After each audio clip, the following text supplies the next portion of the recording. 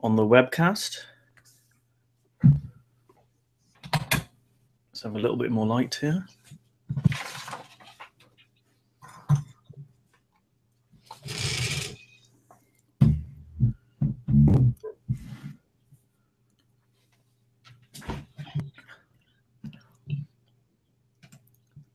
We have 12 people in the room. Oh. Alison, Arthur, Irina, John, Linda, Lisa, Arthur Peters, Maria, Gail, Iwan, Ellie, Joe Oliver, Elaine, and Tony. So uh, we're a minute past seven. I'll maybe give it another minute before we get started. Oh, we've got another person joined, 14. So how do you feel, Cesar, being uh, the guinea pig, the very first person to be coached live on the uh, monthly webinar series that we've started? Well, not only I'm live now, is not only I'm the first person live, I'm it's my first time when I'm live in something, or well, into a into a webinar, and uh, I'm, I'm trying to, to hold to my presence, to hold on to my presence, to not fall into. yeah, there's there's no pressure whatsoever. No pressure. just, just imagine it's just me and you having a friendly conversation. That's exactly what I'm going to do. Thank you very much. Yeah, we we have a chat functionality on the side, so um, we I mean I'll be doing some live coaching, but if, if uh, if anyone wants to just say hello, you're more than welcome to it down down the side in the chat. Uh, see, we've got 15 people now turned up, so we've got an extra person. Just give it another 30 seconds or so.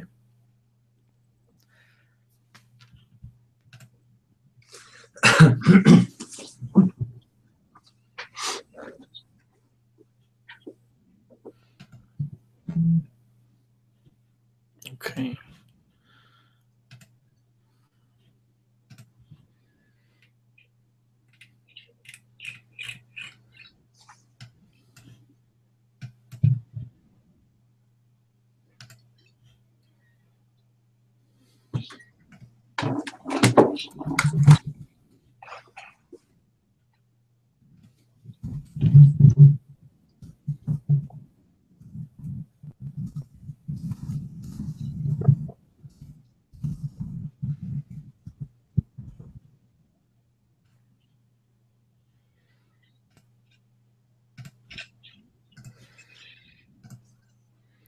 Okay.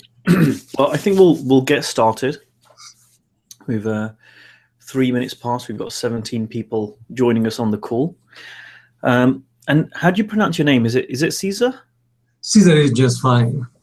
Yeah. My language is pronounced differently, but Cesar is just fine. Okay. Um, we've got a bunch of people saying good evening, hello, hi. So cool you're doing this. Thanks, Gail. Hello from Alison. Hi from John. Hi from Maria. Hi from Lisa. Hello from Joe Oliver. Hi from Nico. So a lot of uh, friendly names there. Um, we've also got Sandra coming later on. Uh, Sandra uh, will be coach second. So we about a, about 20 minutes, half an hour each. Um, it's the first time I'm doing this as well in this setting, so um, we'll we'll see how we go. But I thought it would be a great way to um, for people to see some some live coaching and and what that looks like because I've had some coaching conversations with people from the group and um, they've been they've remarked it's been a little bit different to to what they expected in, in, a good way. So this way i think more and more people get to to experience that. So um, i'll just start by saying um, obviously normally in a, in a coaching call um, i keep everything confidential. Um, this will obviously is different. You know it's being recorded and it's going out to the group. So um, as open as you can be will be dig deeper and, and, and help us to um, hopefully unearth some things which could be helpful to you. Um, appreciate that it's going out live and there might be some things you don't want to share, but um, I, I, may ask some quite pointed questions because I think that's the, uh, in the detail is, is sometimes where we can find out some uh, some interesting things to help you. So um, just to start off with, what, what would you like coaching around today? It's a very good question. because usually I don't want to prepare about about this, and the first thing that comes to mind is uh, the idea of, create, of creating clients. I'm a salesman at heart. I'm a salesman ever since I graduated as an engineer. So selling it's what I do. I wrote a book about selling, but that uh, that's besides the point. However, I discovered that actually in coaching, selling is different. So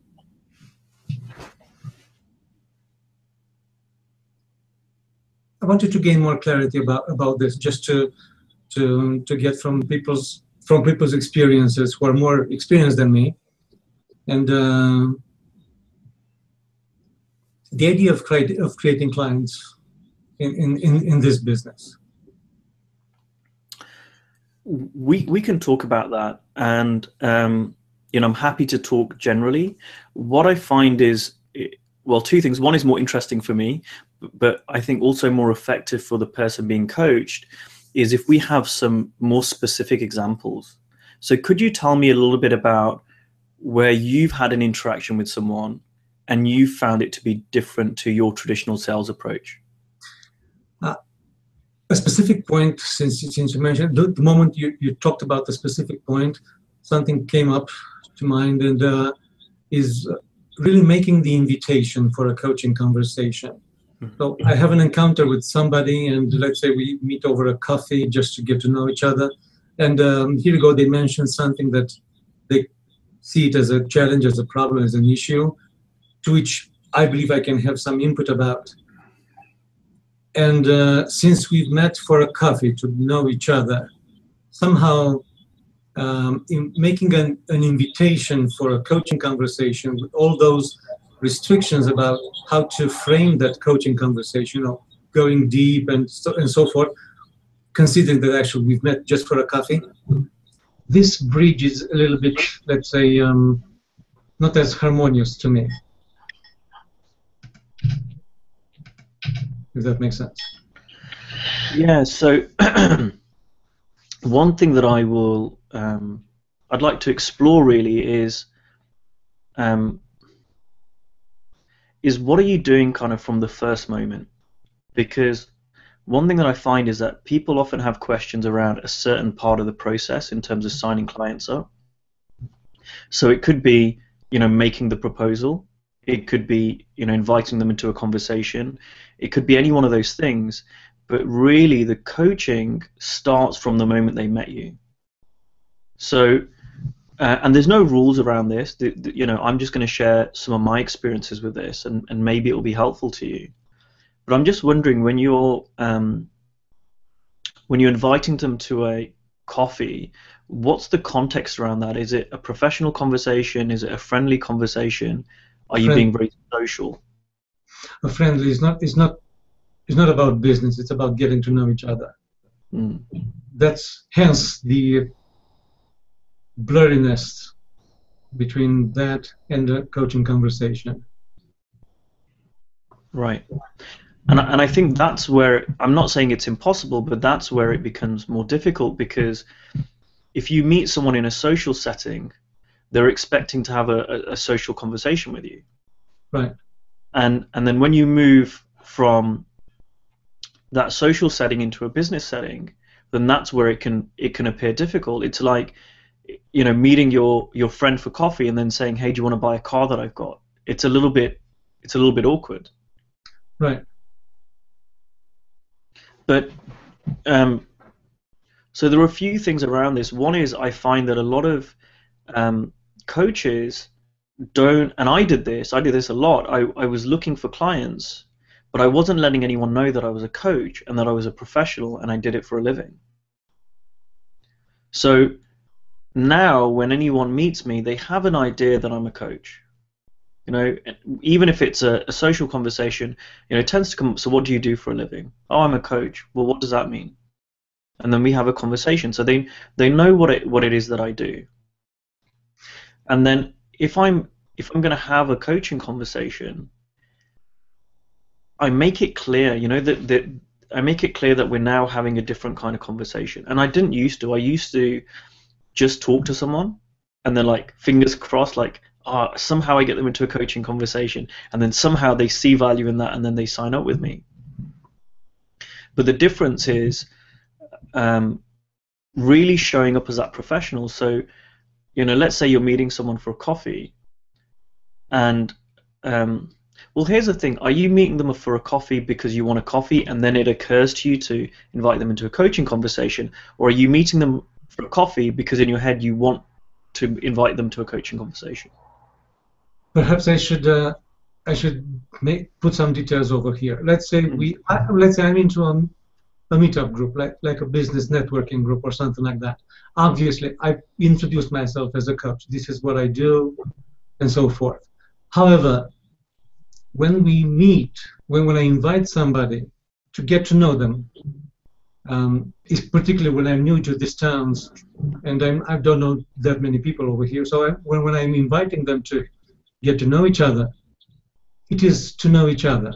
They know I'm a coach, but it is to know each other, to learn more about what we do. And what I'm doing basically in, now, as, uh, as in present moment, if they mention something which again sounds like a challenge for them, particularly selling, because that's basically my specialty in a way. So if they mention something like that, now I'm asking, now is this a challenge that you would like more clarity about? Would you like to have a coaching conversation about that? Hmm.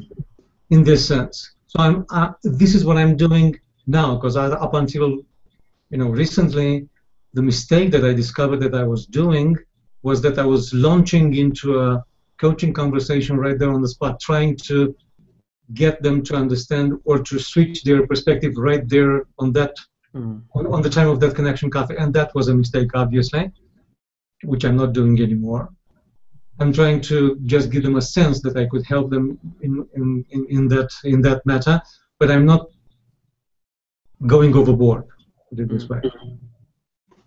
But that's the kind of that I found recently for myself. But uh, but uh, yes. So you know when you're when you're having a conversation and you're inviting them for a coffee. Let's say you're in a business networking event. You invite someone for a coffee. How much? Um, what do you do before you do that? I mean, what's the conversation like? You know, even in order to get to know them, what's the conversation like?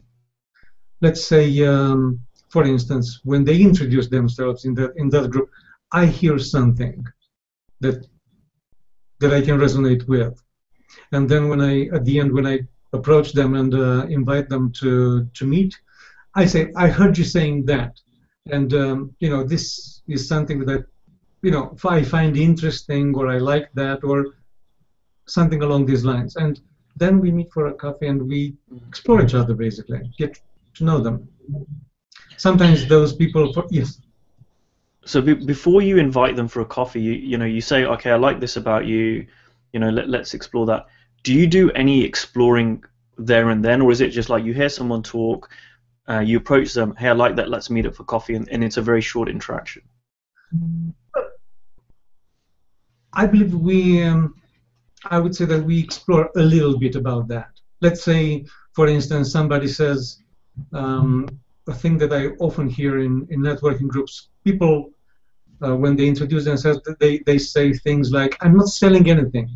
You see, I'm not a salesman. I'm just, you know, creating relationships or, you know, stuff like that. Which to me means that they see selling as a concept as something bad, as something awful, as something like doing something wrong to the person that they are talking with. So that's why they distance themselves from the idea of selling.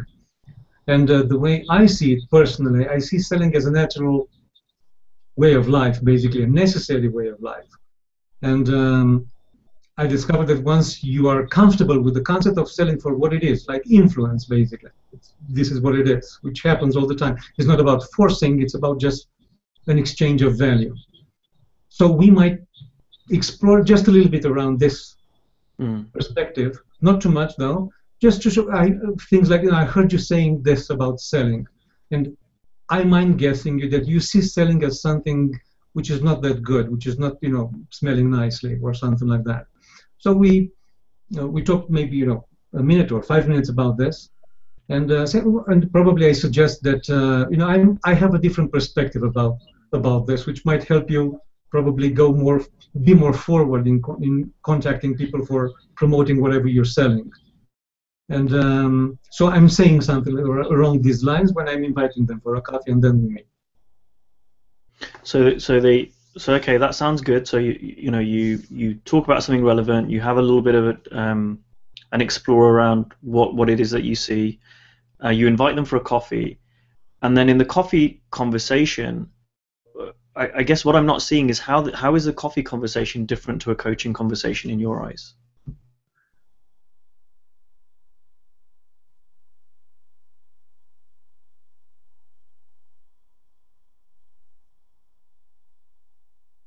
It's not framed as a coaching conversation in which they are they are coming there to explore things inside them. It is a connection coffee where we just get to know each other.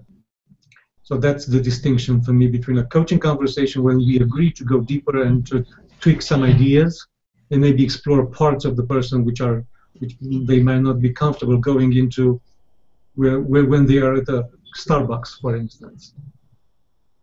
Uh, so that's the distinction that I see between a coaching conversation and a cafe connection thing. So I've got I've got a couple of questions. Um, firstly, why do you need to frame it as a coaching conversation?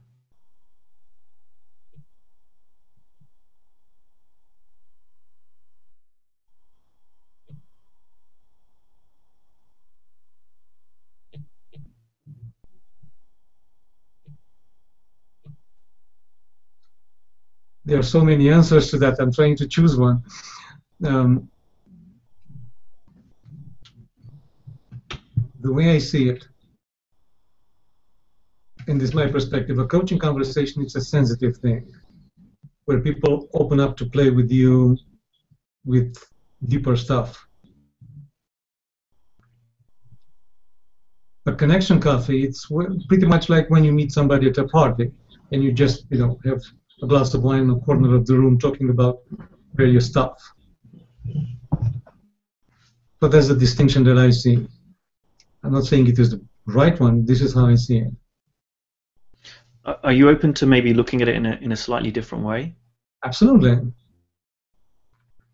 See, uh, there is value in, in having something framed as a as a coaching conversation as a professional. I, I understand that, but but equally, it's not only the frame, in my opinion. See, it sounds like you're doing a lot of things right. You know, you you've met someone, you've seen that they have some thinking around selling which you can help them with. You mention it to them and say, "I noticed you said this, and um, I'm I might be wrong, but I'm guessing that you see sales as a bad thing. Is that true?" And they go, "Oh yeah, that's true."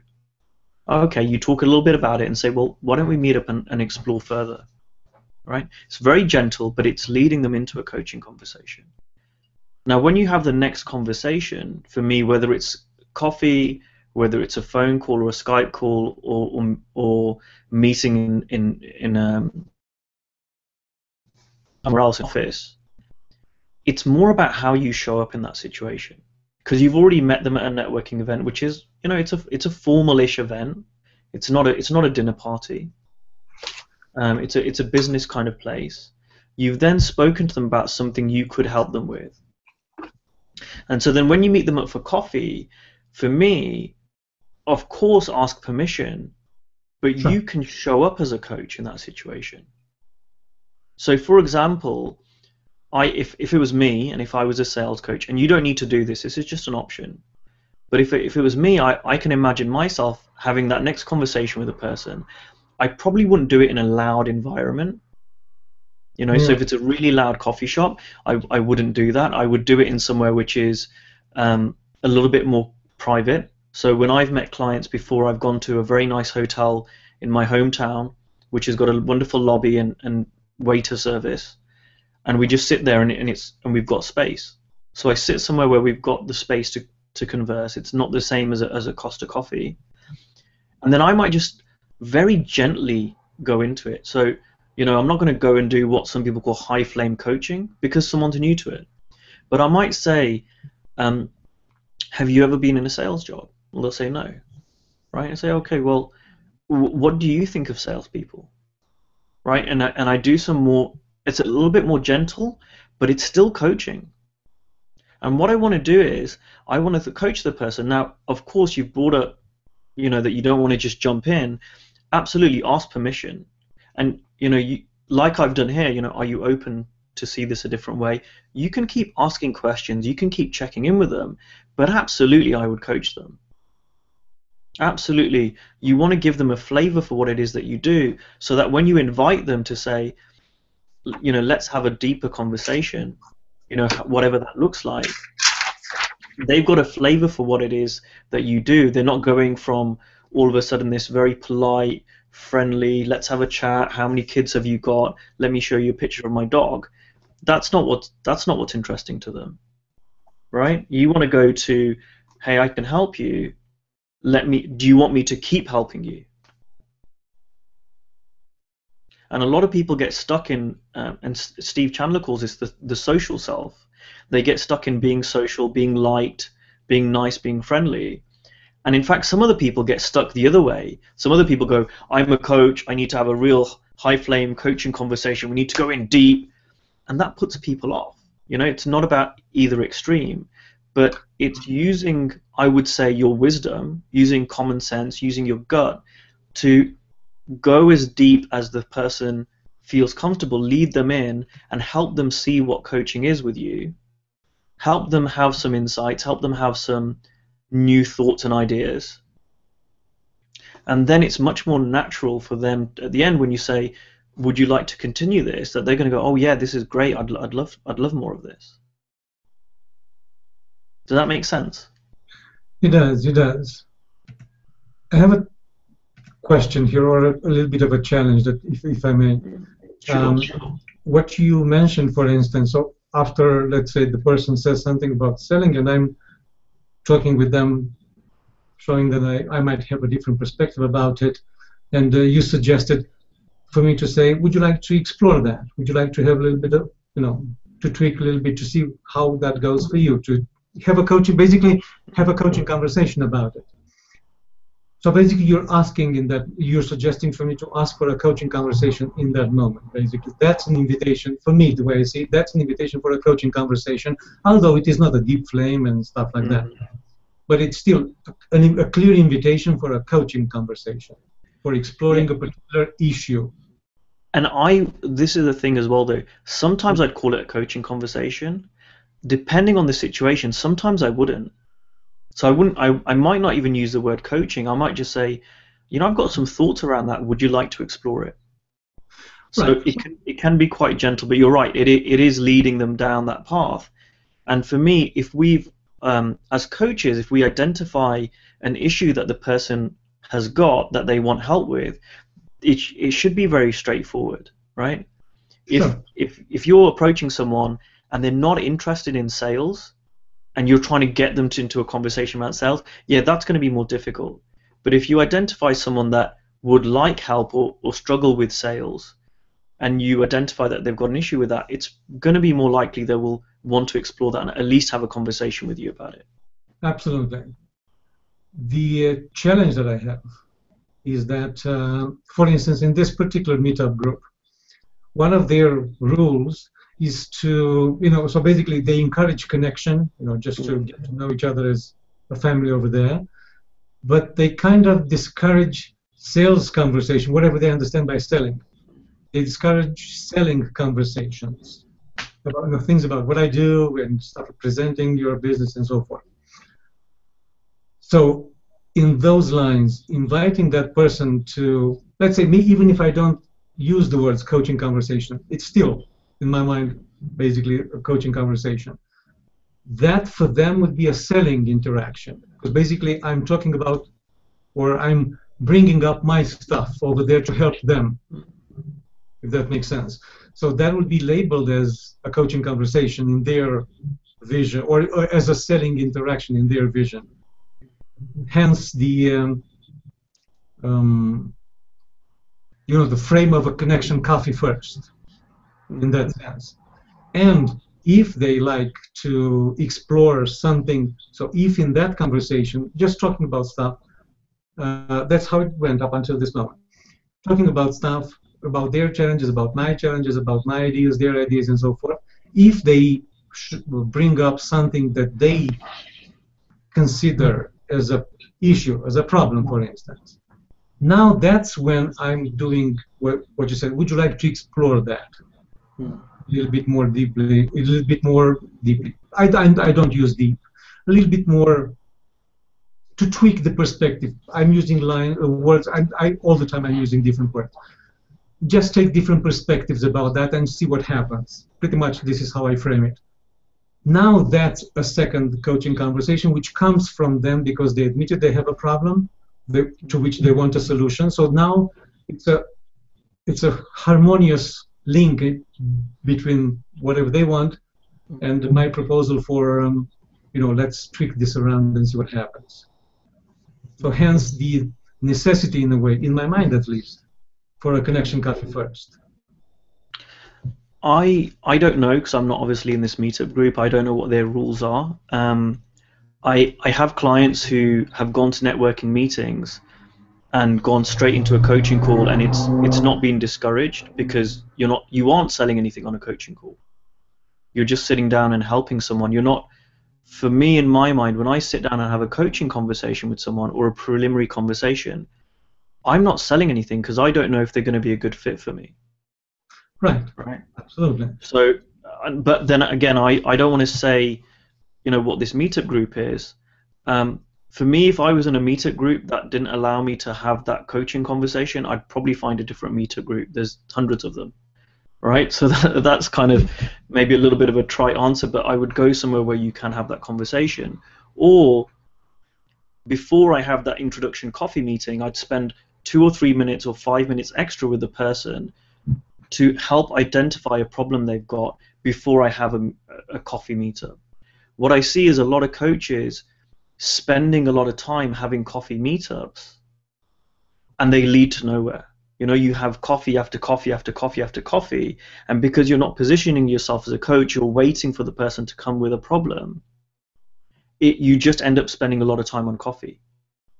And for me, I find that if you want to be prosperous, if you want to create clients, you've got to be a little bit more focused around what you spend your time on and you ideally want to be spending your time with people who want to spend time with you. So I don't give out free conversations to anyone and everyone. I, I make sure that you know if, if I was in a meetup group and I and there were 20 people there, I might only set up a conversation with. You maybe hear the cars in the background. Apologies. I might only set up a conversation with one or two people. I might talk to lots of them. I might talk to all of them, but I really am looking for someone that's got a problem that I can help them with that they seem interested in me helping them with. Now, how I do that is by asking questions, connecting with them, you know, getting into a bit of rapport, connecting with them, but really finding out what their problem is, and then asking them, I might have some ideas about that. Would you be open? I'm, I'm happy to spend some time with you. And to me, that's what networking meetings are about. They're about people helping each other out. And the people that I've seen that are the most successful in networking events are the ones that give you know they talk about giving value helping people and they tend to get business. And again anyone that you meet i wouldn't be even too too worried about signing them up as a client. I would just put all your focus on trying to help them. If you do that you're more likely to get them as a client anyway. Absolutely. Now a quick question just for me to get to get more clarity about that. When you mentioned uh, that you have a little bit of a conversation asking questions see if you can resonate, if it's something that you can help them with, is that that conversation in the hotel lobby or it is on the environment of the networking group? Um, I I don't like adding length into a into this process. I don't like adding unnecessary steps into this process if I can help it.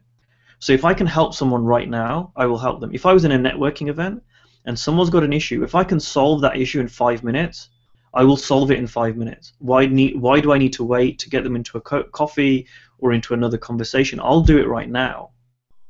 Because the more value I can add to someone right now, the more likely, you know, the more likely it is they're going to turn into clients. And if I do that continually, the more prosperous I'll be. So I don't. I personally don't don't wait. I don't see a need to. You know, I will do as much as I can up front. I want to make that process as short as possible. I don't need to have 15 co- coaching conversations with them to then maybe one day they decide to work with me. If I can help them right now, I will do it right now. And you know, sometimes I've had clients sign up after I've spoken with them several times. Um, but I've had one of my biggest clients sign up with me after 30 minutes of talking to me. You know, he was referred. We had a 30 minute conversation. He was ready. Okay, well then, okay, this is how we work together. Let's go. I believe that's the key, as you say, eh, as you mentioned. He was ready, so he was already prepared. Mm-hmm. A person who's at a meetup group, let's say somewhere over there, although they might express a problem, they might not be prepared to receive anything. If that makes sense. So that's, I mean, from, from my perspective, I'm not saying I know and so forth, but from a change right. point of view, the, the way I see it, and from my experience as a hypnotist and so forth, you can't really, or you can, but it's really a, you know, shoot and miss type of thing. If the land, if the soil it is not prepared, they are not prepared to receive whatever good ideas you might shout to them. So hence, that in my mind at least, the necessity for the frame. This is a coaching conversation where they, where they come prepared for something to happen, rather than a quick conversation at the end of the meetup or. I, I, I will disagree with you there, Cesar. I, I, I, I, know respect, I respect that you, you have a different point of view, but I will disagree with that because I found that um, the the way to get someone into a full and you're right look there is value in having a formal coaching conversation absolutely. And when i have those i set them up and i set them up in a certain way and they're professional absolutely. But i will say that as i've changed how i've shown up those conversations happen more easily right from the beginning right so right from the beginning before when i would talk to someone i'd almost hide the fact i was a coach right? And you want to like set it up down the line, get them into this formal coaching thing. That scares a lot of people. A lot of people don't want to, like you say, they're scared. They don't. They think they're going to do it wrong. They think that they're not going to be coached properly. They they have all these thoughts going on in their head, which puts them off going into a formal coaching conversation. Most people haven't been there, right? And it, you know, a lot of, I mean, you've not asked the question, but sometimes a lot of coaches ask, um, where do I you know, where do I find clients that pay me? Well, there's very few people walking around thinking I want to coach, right? it doesn't happen. We create clients, and we create clients by helping them, by by showing them we've got value, showing them we can help them, help them with a problem they've got. So even for me, if I'm if I'm introduced to someone um, anywhere, if they talk about something and it's like, oh my god, I can help them with that, I will mention to them that I can help them with that. You know, I don't need to get them into a formal coaching conversation. At a certain point, and this is where the skill and you know, it's an art. Coaching is an art. It's not a science. It's not do this, do this, do this, and that's where the art of this comes in. You know, to to work out the point at which you transition it from saying having a conversation to look if, if you want to explore this further, let's let's set some time aside. But even to get to the stage where you say, if you want to explore it, let's set some time aside. It's how you show up, right? It's, um, you know, if I had a medical problem and I was in a party and there was a doctor there, I wouldn't go and speak to him afterwards unless I knew the first five minutes of conversation he knew what he was talking about. So, you know, let's say, oh, I'm, I'm, I've got some back pain, and maybe he's not a doctor, maybe he's a chiropractor, maybe he's sports massage person, maybe something else. But if he starts asking me, how long have you had that pain for? Oh, this. Do you find you get it more when you wake up in the morning? Yeah, I do. How did you know that? Oh, I've I've seen this quite a lot. Yeah. Um, just stretch for me. Just move to the side one second. Okay. Yeah. Just move to the side. Okay. I can see your posture. Have you have you had this for a while? Okay. So I know what he's talking about. He's kind of diagnosing me, and he's like, you know what? I might be able to help you. That if you're interested, here's my card, make an appointment. You know, make an appointment. I, I, I'm, I can fix that up. I've, that's easy. And then they go back to the party. So he's done enough to show me he can help me. And you know where that level is is a bit of an art. You know, you'll find that yourself. but that's what gets people over the line to to working with you, in my opinion. And it doesn't need to be a formal like, okay, I'm either going to have nothing or I'm going to have this really big formal coaching conversation because that will put a lot of people off. And I and I it sounds like you're finding that already. I can resonate with, with, with, with what you said, and that it aligns with my latest uh, tweaks of perspectives around that. And if I were to conclude, because I, realize it's a little bit over uh, over the over the half hour, and uh, Sandra, it's uh, it's next.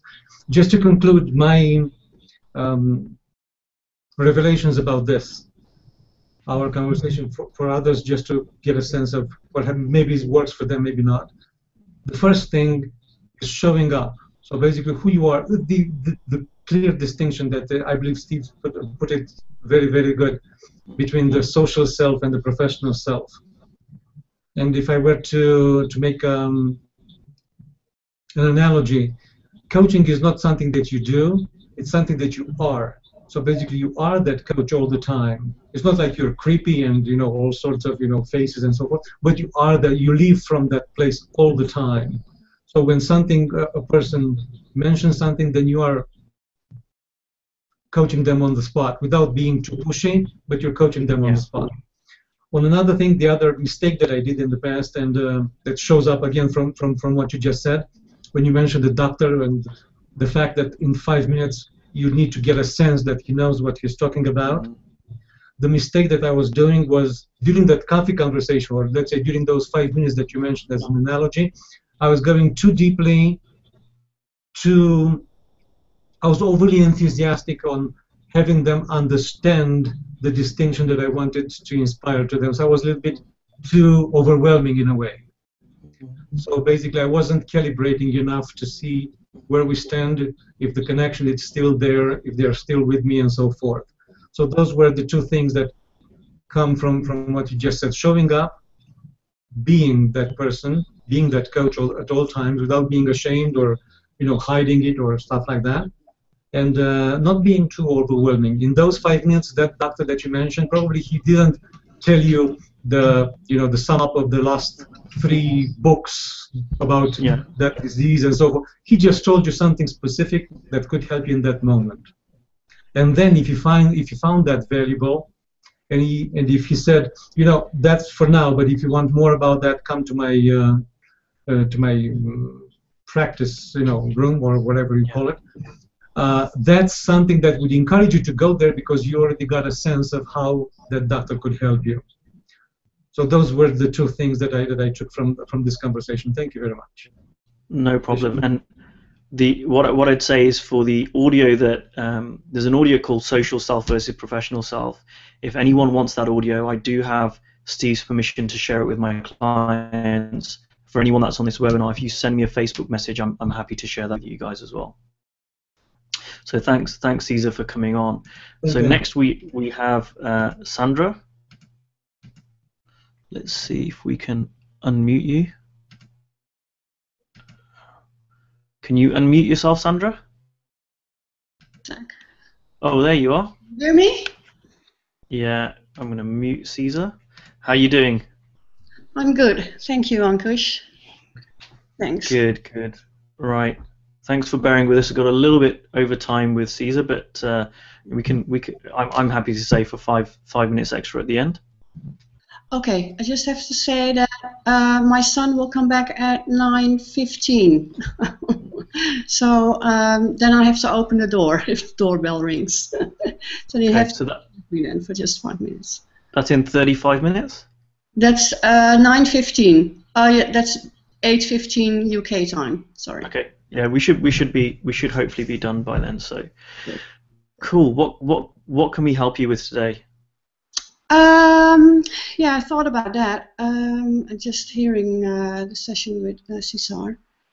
Um, I do have clients. Uh, they find me through Google, um, and uh, I must say that that's going well. Uh, but I like to expand and I don't know exactly how. So uh, for me, it is. Um, I'm not going to networking events or whatever. Um, I, I, really don't know where to start. And when I, um, you know, I listen to some MP3s and stuff like that, and okay, what's the cheese, and you know, what group you wanna uh, take on. I'm getting mixed up about that. So um, I just don't know where to start. That's my confusion in how to uh, in how to expand. Okay, and um, just if can I ask some questions before? Yes, sure. So, uh, how many clients do you have at the moment?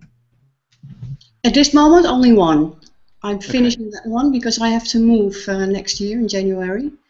So I'm focusing on that uh, first. Uh, so that's a big project for me. And how many clients would you like to have? um, for next year, maybe 10, maybe 15 to start with. Yeah. To start with, okay. That's quite a lot. Okay, cool. Um, and all of your so you said all of your clients have come from Google. Have you had a number of clients from Google over, over the past however long? Yes, about uh, three years. They find me uh, on Google. Yeah. And and uh, how many clients or so have you have you come through through Google? I think I think twenty, about twenty clients. Okay. Yeah. And what sort of people do you do you work with through Google? What what sort of is there any characteristic about those clients? Uh, yeah, because my website is focused on people in their 30s Mm. uh, that are on, on a crossroad in their lives, and they they want to change or they want to you know they want to they have problems with their jobs or their relationship or um, so uh, I'm profiling myself as a life coach. And it's both men and women that you work with. Mainly women, but uh, also men. Yeah. Yeah. And do you, do you have a preference whether you'd like to work Yeah. with women or men? Preference to work with women. Yeah. Okay, so you've you've got a preference to work with women and working with women in their thirties. Yeah. Okay. And so, in terms of expanding, what what does expanding look like? What does that mean? Do you want do you want two clients? Do you want fifteen clients all in one go? How, Well, I just want to have to a nice busy day. Mm. I would like that. Yeah. Mm. Yeah. And what does your day look like at the moment? Um, next to the coaching business, I'm building websites. Mm. So it's a combination now. And and how much time do you have to spend, or how much time do you have to dedicate to to coaching? Uh, I preferably want it to be 100%. But but right now, I mean, so Oh, let's no, say now if if I, if I could get you, you know, thirty conversations a week, do you have space for that, or do, do you, you know, how how how does that work right now? Uh, no, because uh, I work part time because of my son that I take care of. So um, uh, for me, uh, the coaching is uh, between 9 and 2 in the afternoon. Between nine and two. Okay. Um. Okay. And do you have uh, so everyone that comes to you via Google, that's just passive people coming in. They find you through Google, they request you on the site, and they come and talk to you. Yeah. Few will come uh, through mouth to mouth, but that's that's only few. That's not much. Okay. So there, there, there literally are um, hundreds of ways to find clients because clients are everywhere. And what I can do, and this might be helpful for other people, is uh, I'm, I'm happy to go through. I'm just opening a document that I've got of, of some suggestions I made for someone else. Um, you know, I'm, I'm happy to go through a few options if you if, if you're interested in terms of how you can have or, or start getting in contact with with more clients. Is that something that would be interesting to you? Oh yes, of course. Okay, let me just find it. Okay, here we go. So, um, someone asked a question online um, once upon a time about where they can have coaching conversations, because I find that clients are created from conversations. right? So it's great that you've got this website and people are coming to you, but um, like you said, you know, the, it's a limited amount. Um, and I'm also guessing the, the the fee isn't going to be, you know, towards a high end coming from from a website. Or wrong? Um, I'm experimenting with that. so I had a very high paying clients and also uh, clients that paid less. But because I'm just experimenting with, you know, uh, what I should ask for this. Because for me, the th- 3P, the way I'm working now, is totally different from what I did before. So for me, it's new. It's a new field. All right. And what did you do before? uh, NLP, um, transactional analysis, and family constellations. Okay. Yeah. So, for, for me, coaching conversation, coaching conversations, is the best way to get clients. Right? There are other things that you can do, but really, in the short term, if you want to get, and and it's whilst it's great to have an idea, you want to get 15 clients.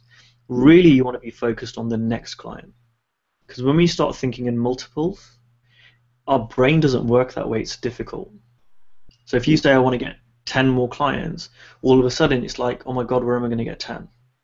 But if you just focus on the next client, I want to get one more client, you can always think of one more client. Yeah. Right? So where do these clients exist? They, they literally are everywhere. So one place clients exist, and I just want to give you, I'm going to give you seven examples, right? Mhm. But here's here's one example where clients exist, and that's on any form of transport, any form of public transport. Anyone that sits next to you on a train, an aeroplane, or a bus, Mhm. they can be potential clients. Now, not all of them will, but I've spoken before I was a coach. I wouldn't really speak to anyone. I got on a train, I got on a plane, I got on a bus. I'd kind of keep myself to myself, unless they were a very attractive female. But that's another that's another story generally I wouldn't speak to anyone. Hmm. Whereas now, what I do if I get on a train, a number of times I will end up speaking to the person sitting next to me or opposite me. And it's quite easy to strike up a conversation. And I've met um, doctors, I've met university lecturers, I've met all sorts of people, professionals. And um, I remember I, I was on an aeroplane and I was speaking to a guy and he was sitting down next to me. I was in the US and you know we got talking and talked about his business and I said, "Oh, so where are you heading?" And he said, "Well, I'm I'm going to meet my my um, son." Well, maybe he wasn't meeting. Maybe it was the day after, and he goes, "Well, that's what was coming up for him. He's, he was meeting his son," and he goes, "I need to have a very difficult conversation with him." Hmm. And I said, "Well, this might sound a bit awkward, but I, I'm a coach. Would you know? We're sitting here for the next hour or two. Do you want to talk about it? You know, maybe maybe I can share something with you that might be useful. And if not, don't worry about it. You know, I won't take it personally." And he went, "Sure, why not?" You know, we were sitting there. It's something that's coming up for him, and we'd we'd been talking a bit. We'd got into a nice rapport. Anyway, I spent the next hour coaching him when we got kept in contact afterwards. Now he didn't turn into a client, but it just showed me what was possible. That potential clients are everywhere. Hmm. And and again, when I went to Chicago recently, I started talking to this guy who was sitting next to me. Turns out he runs networking events, and he wants me to come and speak at one of his future events. So how much? Can I ask a question, Ankush? Mm. So how much time do you spend to do it for free before you charge? So that's kind of you know it's a separate question, and the answer is it depends. Mm. Right? It really depends on. I'm not one of those coaches who believes that you need to pay up front, you need to start charging, don't give your time away for free.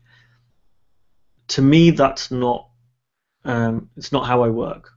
Mm. It's not how I work because personally I don't find it effective, and also it doesn't really resonate with me in terms of just my integrity and how maybe integrity is the wrong word. It just doesn't resonate with me, right? And how I want to share the principles. I find it very, very fulfilling personally to be able to give myself permission to talk to anyone and everyone, share anything that I've got. It, it's why I run the coaching group and just give everything away. And I find that um, as I do it, it's far more fulfilling, Mhm. and it's good business sense as well because people get to experience me. They know that I can help them, and the right people will show up and want to work with me. And Mhm. people who wouldn't be a good client for me see what I put out there, and and they realize that we don't resonate anyway. Yeah.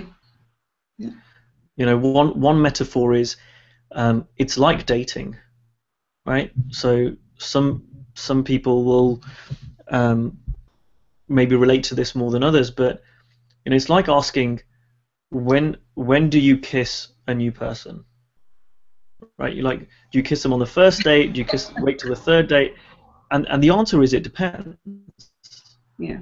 right? Sometimes you can meet someone and you know within five minutes of meeting them you're, you're you're locking lips, and sometimes it will take two or three dates of meeting them and it's a bit more slow and there's no right or wrong way, Mhm. but you you get a feel, and it's the same with um, making a coaching proposal or working with someone. It really depends. Sometimes I'll let someone know very soon on how much I charge and how they could, we can work together. And sometimes I'll speak to someone three or four times, and I won't even ma- mention a proposal because I'm still working out whether I want to work with them. Hmm. Can I ask another question about it? Sure. Maybe a total different question, but um, do you always charge the same amounts, uh, or do you, do you, do you or do you have several packages, or it it's, it is depending on the person you have in front of you? I say that I tailor make everything that I do for my clients. Now, have I charged the same fee to two different clients for this for roughly the same kind of package? Yes, of course I have. My my fees have tended to increase over the last few years. They've just carried on going up. Um, but it really does depend on the person. And that's the beauty with coaching. You get to make it up. Right? You get to decide do you charge that person X and that person Y. It, it's totally up to you. Now, I, I do, uh, I've experimented a lot. I'm probably getting to the stage in my own practice where I've got more of a feel for what I charge. Mhm. Um, but also, it's not about just, for me, it's not about changing the, the rate. It's not about changing what I charge. It's also about what do I give people, right? So let's say you've got a package, and let's say it's um, I don't know, two and a half thousand euros, right, for argument's sake, and you're coaching someone for three months and you're speaking to them every week. Now, if Mhm. someone can't afford uh, to to hire you for that time, and let's say you get into that conversation, well, one option is to lower your rates, which it's an option. I'm not saying it's right or wrong; it's an option. But you know, another way might be to say, well, why don't we speak once a fortnight? They will still get value from that. You're putting less of your time into it, and you can charge a lower fee for that. You know, it's not just about discounting your rate, it's about getting creative, and it's about finding ways to work with people. Mhm. You know, I, I, I work with a number of people in very different ways. Some of them are very involved and they um, coach with me online and we talk regularly and it involves um, live events as well. You know, there are lots of different things. And on the other end of the extreme, there's I, I do coaching for you know not many people, but a small number of people who um, I'm a lot less involved in order to make it fit a certain budget or make it worthwhile that we can work together. But again, it really is down to me and. I, I get to make up who I work with. I get to decide do I want to work with this person, do I not, and what price do I want to charge them. But when you're starting out, I, I would encourage you to just experiment, play around with it, see what feels right, push yourself, charge more, charge less, and, and you'll start coming to your own conclusion of what works for you. Yeah. Do you want me to go back to these seven ways of meeting clients?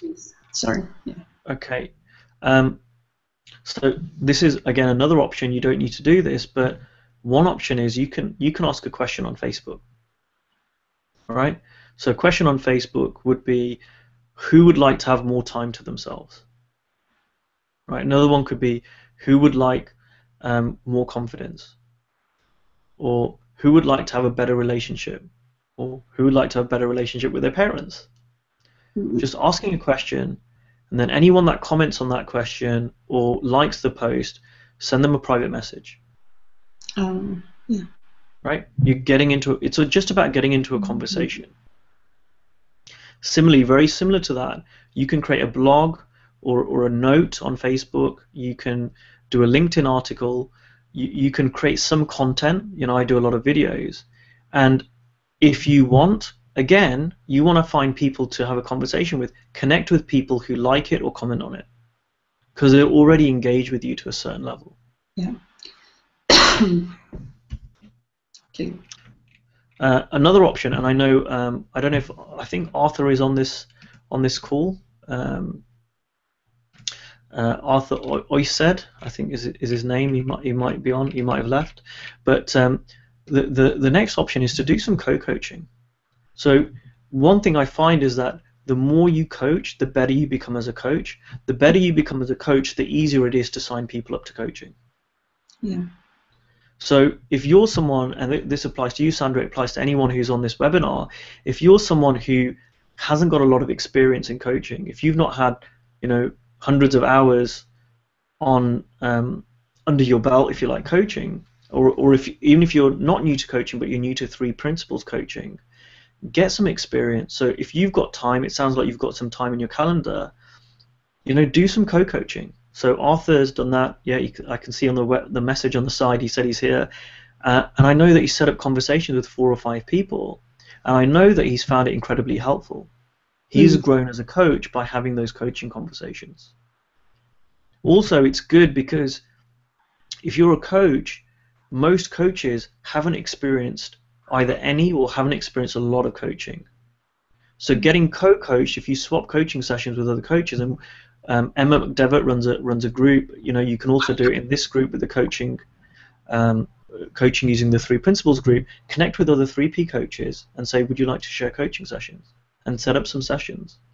N- not necessarily to get clients, but to get you used to setting up a conversation, having a conversation with someone, working on a problem, you know, and you will grow. You will make mistakes. You will not not uh, um, not do it perfectly. Uh, Leonard's, Leonard is asking, how do we do co-coaching? Well, you just put an hour aside and say, right, for the first half an hour, I will coach you. For the second half an hour, you coach me, and you come along with something that's alive for you. All right, whether it's um, struggling to get clients, whether it's um, having a relationship issue, whether it's about your health, whatever it is, just spend half an hour each. And if you want, you can spend longer, but I would I would suggest you know half an hour each and set up a call with someone. And it's very easy. Just send them a message or put up a post. Who wants to do co-coaching? That's it. Uh, point number five: attend a networking event. You know, Cesar was talking about doing this. I know a lot of people do this too.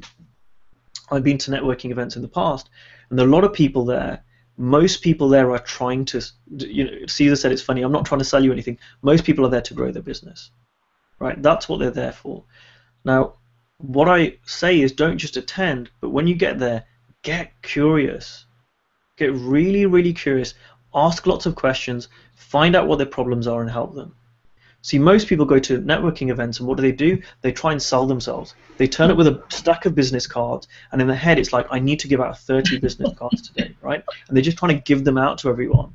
Yeah. Right? Like, then I've done my job. I've been to networking events. no, you know that that's not that's not the most effect. In my opinion, that's not the most effective way to be in a in a networking event.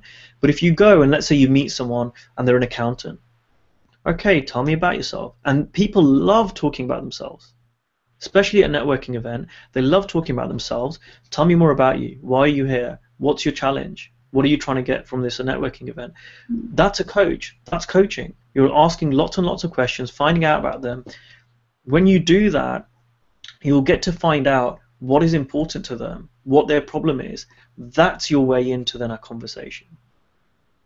That will then lead you to go, Okay, and it's and it makes sense from their point of view. Why would someone who's really really busy, who's got some problems, talk to you, a coach?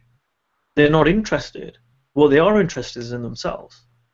Now, if they say, "I'm really really struggling with stress and burnout," that's my problem. An accountant. I've got a really great business. Um, I've taken on two new partners, but I'm really struggling with stress. That's my biggest problem. Bingo. You've got something that helps them. So you might say to them, you know what, I, I, I help people with that. I've got a great track record. I might be able to help you. No promises, right? I might be able to help you. Would you be interested in having a conversation about that? Would you like to explore that? You might even not do that. You might say, Would you like some resources on that? I'm happy to send you a resource.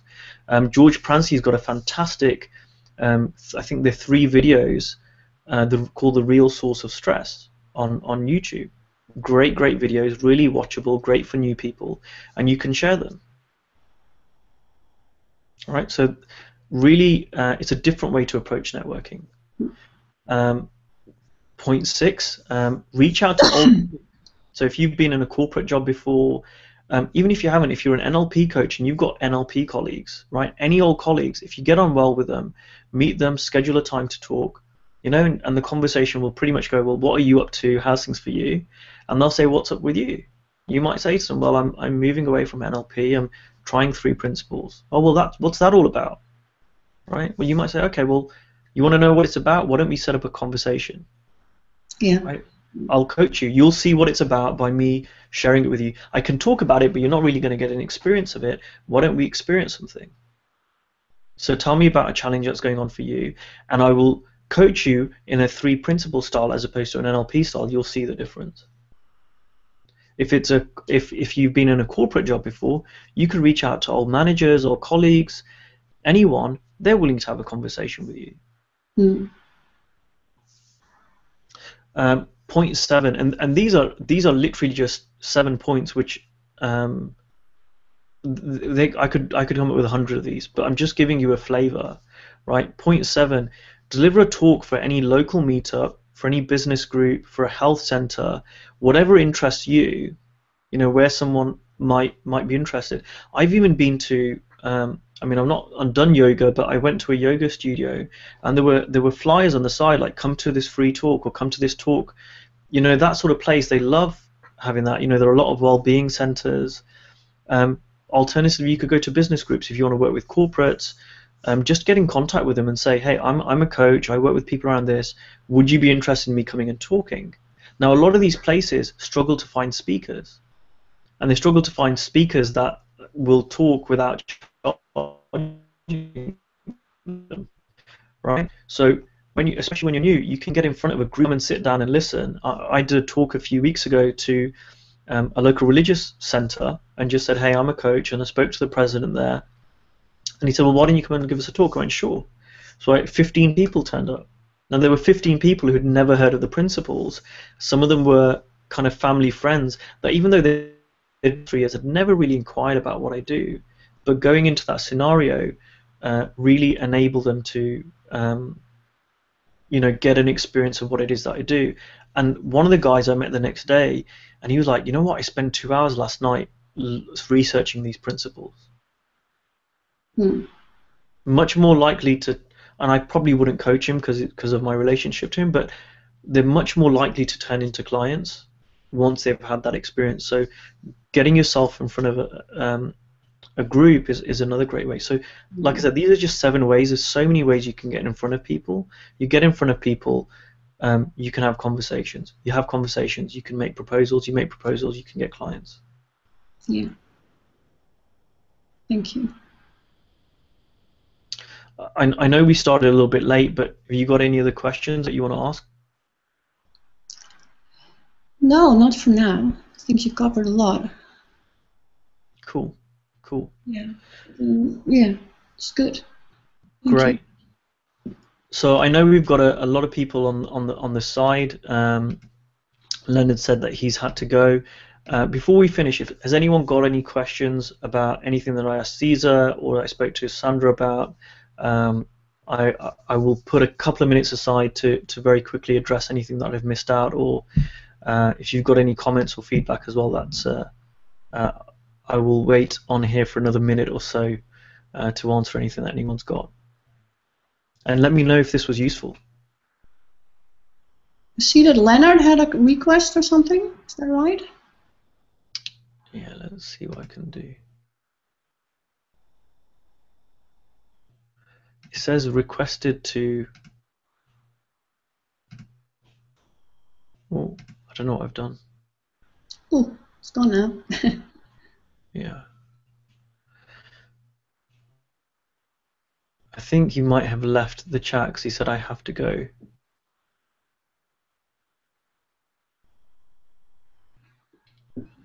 Okay, I'm not getting any uh, questions come through on the web chat. I I will wait another. Oh, there we go. Trish missed a lot of it. Will there be a replay? Uh, yes, there will be a replay. Um, you, there will be a recording of this. Uh, I think as soon as I stop the broadcast, it will get uploaded to uh, my Facebook page, uh, so my YouTube um, page. So um, I will share the link, and I think the link gets emailed out as well to anyone that's registered for this. So um, yeah, you'll you'll be able to uh, watch it back. Tony said, loved it, thank you. Cheers, Tony, thanks for feedback. Alison said, useful, thank you. Uh, Lisa said, very useful, thank you very much. Uh, Joe Oliver, grateful for this evening. Um, I'm new to the idea of being a coach. When will you do this again? Uh, I'm I'm happy to do this once a month. So for the coaching using the three principles group, that's what I was planning on doing once a month, having two people on, um, and just doing a webinar for for everyone in the group. So that's the plan. Uh, this was a bit of an experiment, so again, very useful uh, if people find it useful. If they don't, we won't do them, but but if you do, happy happy to do them. Uh, Gail says she has a question.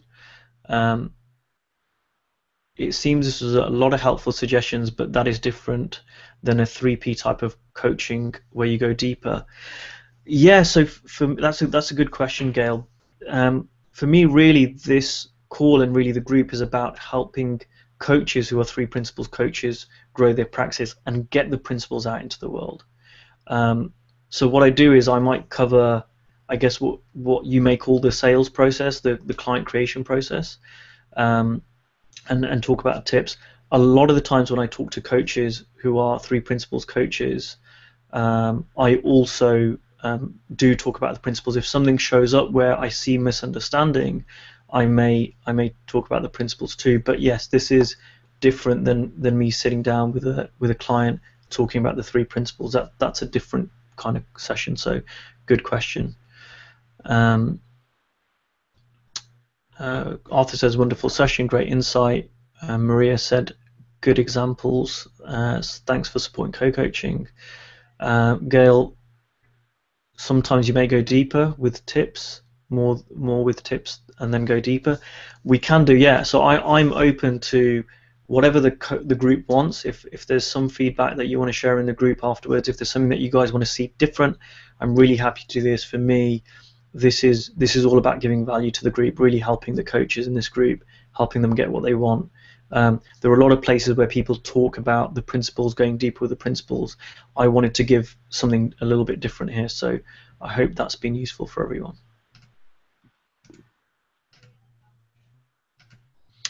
Okay. So I don't think we've got any more questions. So uh, if that's everything, then I'll, I'll, stop the broadcast. Thank you everyone for joining us. I know we've gone a little bit overboard. Thanks, um, Sandra. I know we had a little bit less time for you. Um, and um, I'll see everyone on the forum. Take care. Thank you. Bye bye.